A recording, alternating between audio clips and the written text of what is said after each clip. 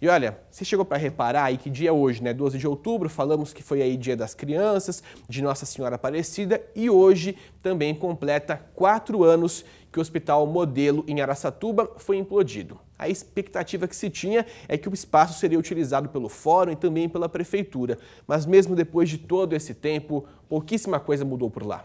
O terreno, que fica em uma das principais avenidas da cidade, está abandonado e tomado pelo mato.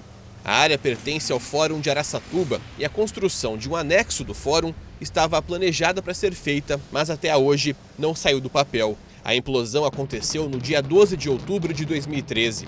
Em 10 segundos, uma história de 40 anos foi transformada em poeira. Para colocar toda a estrutura abaixo, foram utilizados 75 quilos de explosivos. Na época, a Força Tarefa contou com a participação da Polícia Militar, do Corpo de Bombeiros, do Tiro de Guerra e também da Guarda Municipal.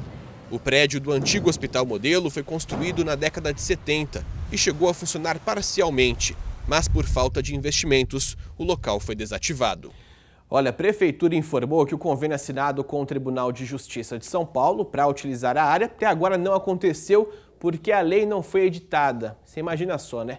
Disse ainda que não tem mais interesse em usar esse espaço. O TJ não respondeu aos questionamentos que nós fizemos em relação à destinação dessa área. O que acontece? Nesse meio tempo, fica lá o espaço, uma guarita foi construída para evitar qualquer tipo de problema, mas o local está completamente abandonado.